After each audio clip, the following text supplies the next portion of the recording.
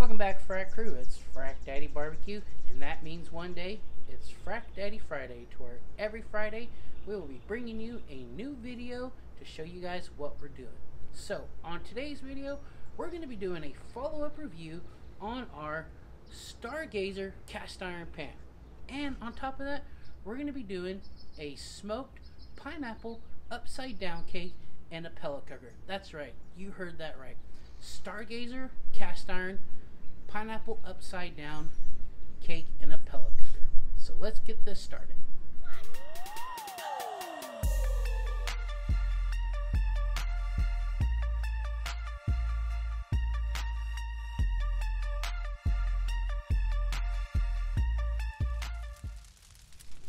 Alrighty guys, so first off before we show you our ingredients, let's talk about this beautiful cast iron that Stargazer sent us. So this is a 10 and a half inch cast iron skillet that Melissa and I absolutely love and we cook on this thing on a daily basis. So let me tell you a little bit of my likes and actually there's no dislikes. So this thing cooks up and heats up so evenly. We use it on a daily basis to cook bacon, cook eggs, pretty much cook anything you can think of. And this is, a matter of fact, going to be our first dessert that we're going to be cooking for you guys on Frac Daddy Friday. So, let's get started and I'll show you my ingredients.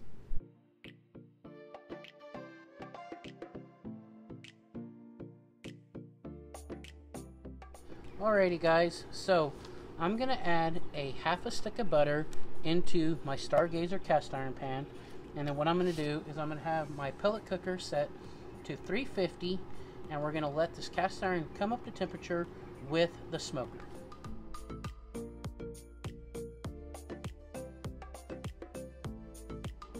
Okay guys, we're to start off with our wet ingredients and we're to show you what that is.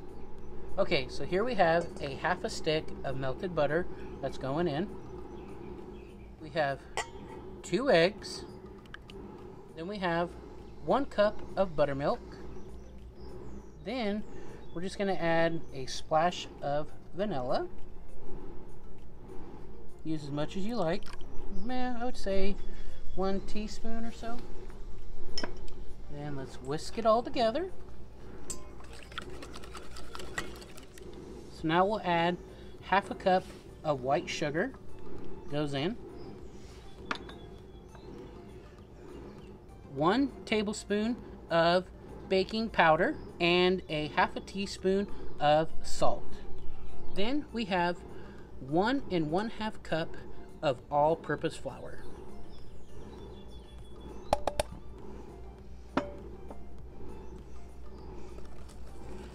Mix it in, make sure you have no lumps. And this is how you make a homemade batter for the best pineapple upside down cake you will ever have. Okay guys, now I don't want y'all to be alarmed when you make this batter. It's a very, very thick batter.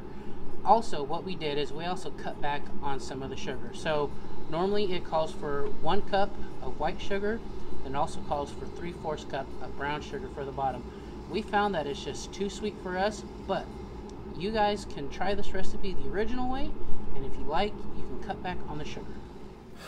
Alrighty, now that our cast iron has come up to temp and our smoker's up to temp, we're to take our brown sugar, just kind of place it all over.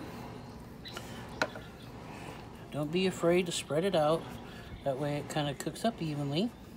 And I recommend doing this with a warm pan because it will help the sugar melt a little better. So then, what we're to do is we're to take our pineapple rings. Just place them in here, just like this. Go in any order you like. Not called a pineapple upside down cake for nothing if you don't have pineapple.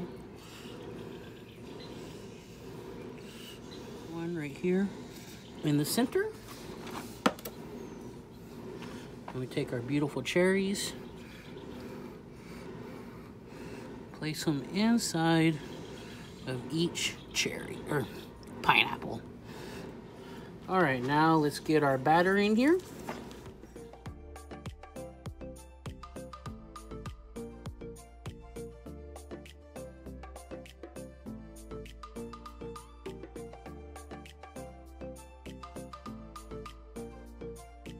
And if you're wondering what kind of pellets I'm using, I'm using B&B Competition Championship Blend. It's got pecan, it's got cherry, and it's a mixture of oak. It's gonna go perfectly with this pineapple upside down cake.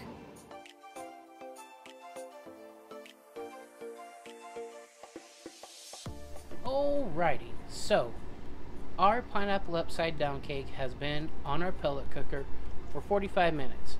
I had my trusty cake tester. We stuck it in there. It came out clean at 45 minutes. So now what we're going to do, we're going to let it rest for 5 minutes and then the moment of truth, we're going to flip it over and see if it was a success. Alright, so the moment of truth, it has been 5 minutes. Let's go ahead and flip this over and see what we've done. go ahead and do that. Now let it sit like this for a couple minutes, y'all. And it should come out. Alright, you ready, Melissa? I'm ready. Wow. Look at that, guys. Talk about a beautiful smoked pineapple upside down cake.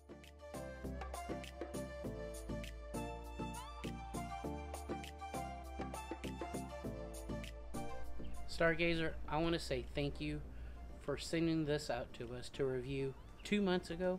And this is our follow up. And I tell you what, guys, I am super, super impressed. I mean, the proof is right there in this pineapple upside down cake on how beautiful this Stargazer cooks. So, now we're going to let this cool off and then we're going to taste it.